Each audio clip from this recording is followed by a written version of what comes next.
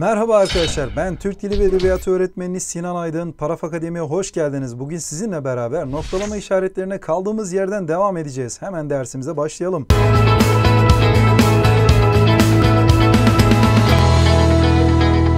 Evet arkadaşlar noktalama işaretlerinde daha önce ne yapmıştık? Bir bölüm işlemiştik. Şimdi ikinci bölümden devam ediyoruz. 3 nokta anlatım olarak tamamlanmamış cümlelerin sonuna konur. Yani arkadaşlar burada eksiltili bir cümle varsa biz ne yapıyoruz? Sonuna 3 nokta getiriyoruz. Ne demek de eksiltili cümle? Yargısı yani yükleme olmayan cümle. Ege'nin insanları kendine çeken sahilleri bakın ne oldu arkadaşlar cümleyi bitirmedik böyle kaldı. Kaba sayıldığı için veya bir başka sebepten dolayı açık yazılmak istenmeyen kelime ve bölümlerin yerine konur. Toplantıda bize bu bilgileri nokta nokta adlı kişiden aldığını söyledi derken o kişinin adını vermemek için ne yapmış? 3 nokta kullanmış. Ve arkadaşlar söylenmesi hoş olmayan bir söz var orada. Orada o zaman ne yaparız? Yine 3 nokta kullanırız. Mesela kılavuzu kargolanın burnu nokta noktadan çıkmaz diyebiliriz değil mi? Çok rahat diyebiliriz. Evet alıntılarda başta ortada ve sonda alınmayan kelime veya bölümleri göstermek için ne yaparız? 3 nokta kullanırız. Bakın burada ne yaptık? Kemal Tahir'den bir alıntı yaptık. Başına ve sonuna ne getirdik arkadaşlar? 3 nokta getirdik. Önemli önemsiz hiçbir güvensizliğe en küçük bir direnme göstermiyordu. Derken arkadaşlar ne oldu? Bakın burada başında ve sonunda 3 noktayı kullandık. Sözün bir yerde keserek geri kalan bölümünün okuyucunun hayal dünyasına bırakıldığını göstermek veya ifadeye güç katmak için de ne yapabiliriz? Arada 3 nokta kullanabiliriz. Sana uğurlar olsun. Ayrılıyor yolumuz derken bakın ne yaptık arkadaşlar? Burada şöyle bir düşündürebiliriz değil mi burada veya okuyucu şöyle bir ne yapar böyle bir tefekkür eder diyebiliriz. Evet ünlem ve seslenmelerde anlam pekiştirmek için ne yaparız arkadaşlar? Üç noktayı kullanabiliriz. Örneğin gölgelere yaklaştı. Bir adım kalınca onu kıyafetinden tanıdılar. Koca Ali. Koca Ali be. Evet görüyorsunuz arkadaşlar burada ne yaptık? Üç noktaları yine kullandık. Ünlem ve soru işaretinden sonra üç nokta yerine ne getiririz? İki nokta getiririz. Niye? Zaten ne oluyor arkadaşlar? Ünlem ve soru işaretiyle birleşince 3 noktaya dönüşüyor. Soru işareti soru eki veya sözü içeren cümle veya sözlerin sonuna konur. Ne kadar kaldınız İngiltere'de derken bakın arkadaşlar ne yaptık? Cevap bekliyoruz değil mi burada? Soru bildiren ancak soru eki veya sözü içermeyen cümlelerin sonuna ne yapar arkadaşlar? Yine soru işareti getiririz. Biz burada ne yaparız arkadaşlar? Metindeki diyalogdan zaten cevap beklediğini anlarız ve soru işaretini oraya getiririz. Adınız derken bakın ne yaptık? Adınız nedir dememe gerek yok. Burada çok rahat ne yapıyoruz? Soru işareti olduğunu anlıyoruz. Bilinmeyen, kesin olmayan veya şüpheliye karşılaşılan yer, tarih ve benzeri durumlar için ne yaparız? Parantez içerisinde yani yay ayraç içerisinde soru işareti kullanırız. Hoca Dehani 1260 yılında Horasan'a taşınmış derken tarihin böyle tam böyle yani kesin değil bu şüpheli, şüpheli olabilir. Konya'dan Trabzon'a arabayla 3 saatte gitmiş. Ha biz de inandık derken bakın arkadaşlar ne oldu? Şüpheyle yaklaşılan bir bilgi olduğu için yay ayrı içerisinde soru işaretini kullandık. Mı mi ekini alan yan cümle temel cümlenin zarf tümleci olduğunda cümlenin sonuna soru işareti konmaz. Niye? Çünkü burada asıl anlam veren nedir arkadaşlar? Oradaki yüklemdir. Yani soru anlamı orada yoktur arkadaşlar. Kar yağdı mı? Yani kar yağdığı zaman bu şehirde trafik felç olur derken bakın ne yaptık arkadaşlar? Burada ince ince eki yerine kullandık zaten kar yağınca. Soru ifadesi taşıyan sıralı cümlelerde soru işareti son cümlenin bitimine konur. Zaten ne yapıyoruz arkadaşlar? Unutmayın virgülleri eş görevli sözcüklerden sonra kullanabiliyoruz değil mi? E burada da zaten bu belgeleri kimden aldın, kime verdin derken bak ne olmuş? Hatta pardon affedersiniz burada sıralı cümle olmuş. Ne yaptık arkadaşlar? Virgülü kullandık. En sona da soru işaretini getirdik. Ünlem işareti sevinç, kıvanç, acı, korku, şaşma, uyarı gibi duyguları anlatan cümle ve ibarelerin sonuna konur. Yeter artık sessiz olun diye arkadaşlar ne yapabiliriz? İnsanlara uyarırken böyle yüksek perdeden konuştuğumuzda bunları metne aktarırken sonuna ünlem işareti getiririz. Seslenme ve hitap sözlerinden sonra konur. Ordular ilk hedefiniz Akdeniz'dir. İleri derken bakın ne yaptık arkadaşlar? Sona ve şuradaki ordular hitabından sonra ünlemimizi kullandık. Ünlem işareti seslenme ve hitap sözlerinden hemen sonra konulabileceği gibi cümlenin sonuna da getirilebilir. Burada arkadaşlar eğer şöyle bir yay ayraç verilmişse buraya hangi işaret gelir diye soruluyorsa yapmamız gereken şey şu. Şuradaki kelimeye bakacağız. Eğer arkadaşlar buradaki ünlem sözcüğünden sonraki kelime küçük harfle başlıyorsa buraya virgül getiririz. Ünlemi sona koyarız. Eğer arkadaşlar ünlem bildiren sözcükten sonra büyük harfle başlamışsa o zaman buraya ünlemi getiririz. Sonra da cümlemizi normal bitirip hangi noktalama işareti gelmesi gerekiyorsa onu getiririz. Bakın arkadaşlar burada ne yaptık? Uygulamalı of yine başım ağrıyor derken Of'tan sonra yine küçük harfle başlamış ünlemi sona getirdik. Of dedikten sonra yine büyük harfle başladığı için de ünlemi buraya getirdik. Alay kinaye ve küçümseme anlamı kazandırmak istenen sözden hemen sonra yay ayraç içinde ünlem işareti kullanılır. Geçen haftaki yarışta sonuncu olan at bugünkü yarışta birinci olacakmış dediğimizde arkadaşlar bakın burada ne yapıyor? Alaya alıyor değil mi? Yani sonuncu olan bugün nasıl birinci olacak diye ne yapmış arkadaşlar? Burada dalga geçmeye çalışmış veya küçümsemiş diyebiliriz. Şimdi arkadaşlar öğrendiklerimizi pekiştirmek için şuradaki metinleri inceleyelim. 3 nokta soru işareti ve ünlem işaretinin yanlış kullanıldığı cümleleri işaretleyelim.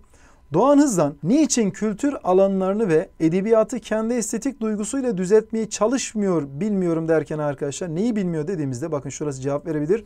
O yüzden asıl yargı yani yüklem şurası olduğu için ne oldu? Buraya soru işareti getiremeyiz o yüzden yanlış oldu. Ne getireceğiz? Tabii ki nokta değil mi?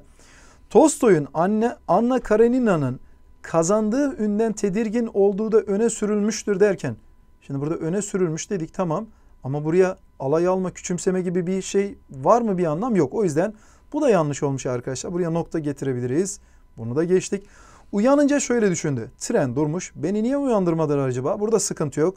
Kuznetsov burada duralı çok oldu mu diye seslendi derken baktığımızda arkadaşlar şurada bir soru anlamı var. Buraya ünlem işareti getirebilir miyiz? Hayır soru işareti olması lazım. Bu da yanlış oldu. Bu güzel sesinizle yeteri kadar seyirci toplayabilirdiniz derken şurada sanki bu güzel sesle ne yaptı arkadaşlar? Dalga geçti değil mi? Onun sesini küçümsedi o yüzden burada da doğru kullanmış diyoruz. Sıkıntı yok. Evet arkadaşlar tam burada size yıllar evvel yazdığım bir noktalama şiirini okumak istiyorum. Dinleyelim mi hep beraber? Evet dinleyelim bakalım. Şiirimin adı Noktalama Hatası. Noktalama hatalarıyla dolu bir hayatım vardı. İstedim ki bu karmaşaya bir son vereyim. Aldığım noktayı yerine üç nokta koydum. Ama bu hiç bitmeyen dertler gibi bir şeydi.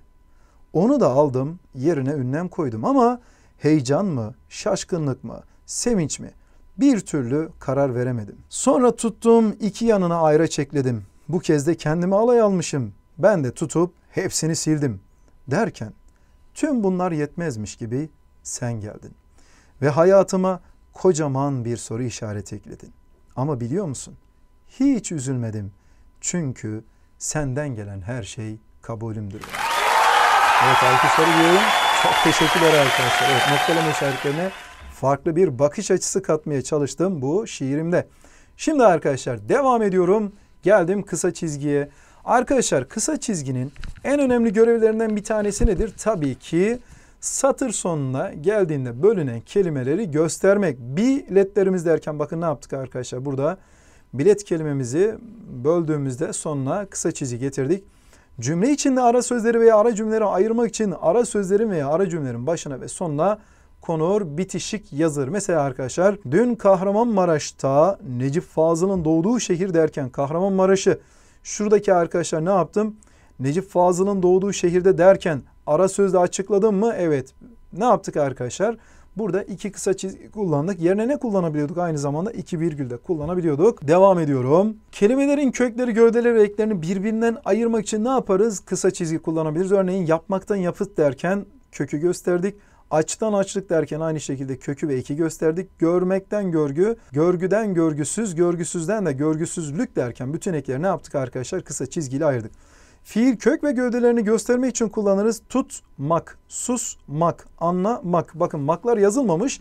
Biz ne yapıyoruz? Burada kısa çizgiden yola çıkarak makları arkadaşlar kendimiz söylüyoruz. Heceleri göstermek için kullanabiliriz. Karanlık, hatıra, balıkçılar derken ne yaptık? heceleri kısa çizgiyle ayırdık. Arasında V ile ila, den, e anlamlarını vermek için kelimeler veya sayılar arasında ne yaparız? Kısa çizgi kullanabiliriz. Örneğin Bursa, İzmir yolu derken Bursa ile İzmir yolu. Türkiye Almanya ilişkileri derken aynı şekilde. Ural Altay Dil Aile Grubu derken bakın ne yaptık arkadaşlar? Aralara hep ne yapıyoruz? Kısa çizgi getiriyoruz. 1914-1918 Birinci Dünya Savaşı derken yine aynı şekilde burada arası anlamına geldi.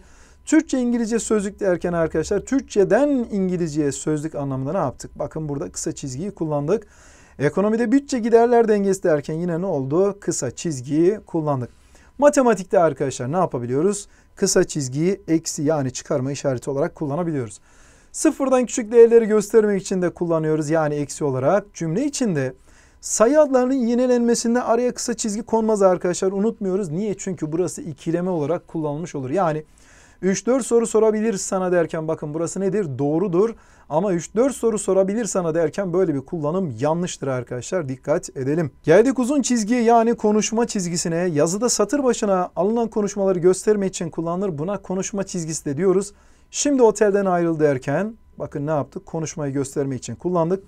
Oyunlarda uzun çizgi konuşanın adından sonra da konabilir. Örneğin İslam Bey gideceğim derken bakın ne yaptık? Adından sonra konuşma çizgisini kullandık. Zekiye sözünü keserek derken yine ne yaptık? Bakın arkadaşlar konuşma metninden önce konuşma çizgisini kullandık.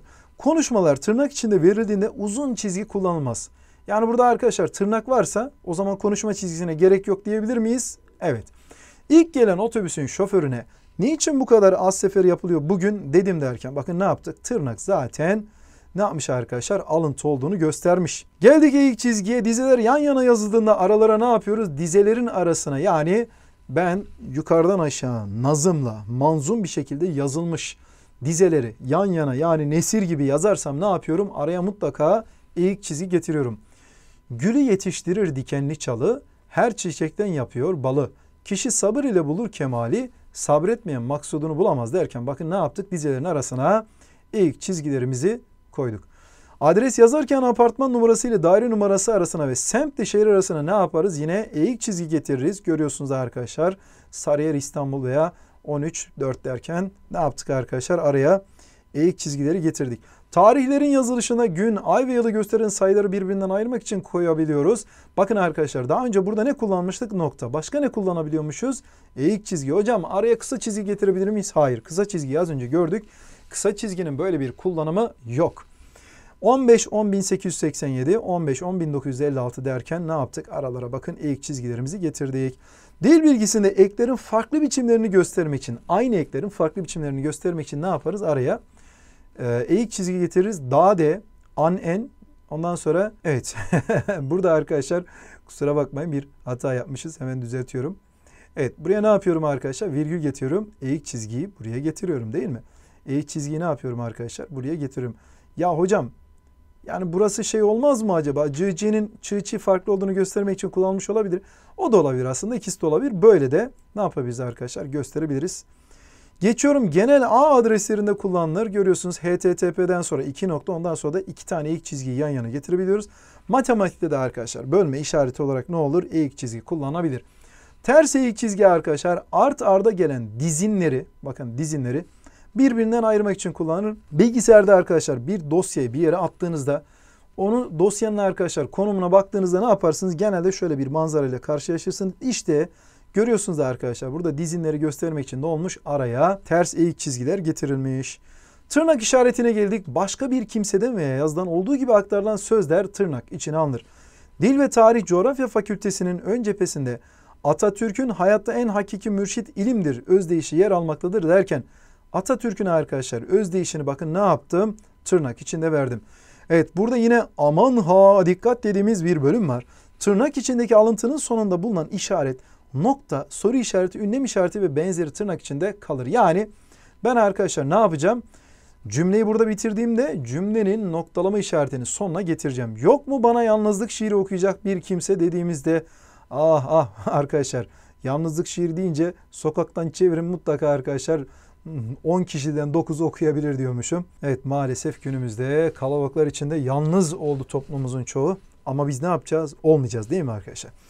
Evet yok mu bana yalnızlık şiiri okuyacak bir kimse derken cümlenin sonuna ne yaptık? Bakın soru işaretini getirdik. Ondan sonra tırnağımızı kapatıp cümleye diyor ünlü şair bir dizesinde diye bitirdik. Özel olarak vurgulanmak istenen sözleri biz ne yapıyoruz? Tırnak içine alabiliyoruz. Bu şiirinde yalnızlık temasına yer vermiş derken yalnızlığı tırnakla vurguladık.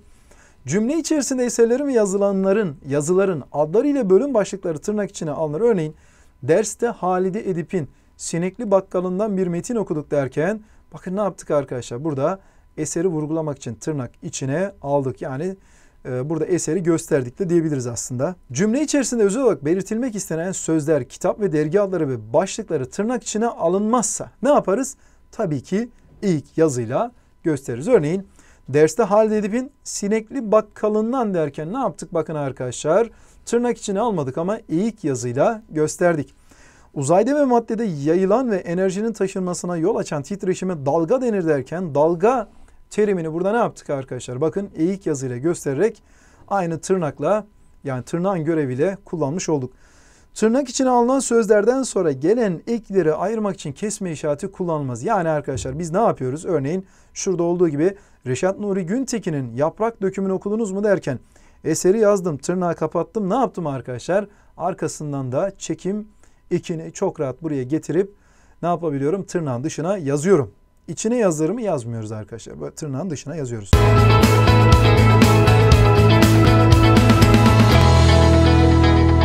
Evet arkadaşlar bugün noktalama işaretinde ne yaptık? İkinci bölümümüzde bitirdik. Üçüncü bölümümüzde de ne yapacağız? Noktalama işaretlerini tamamen bitireceğiz. Arkasından birkaç tane de örnek soru çözüp konuyu pekiştireceğiz. Görüşmek dileğiyle hoşça kalın. Kendinize iyi bakın.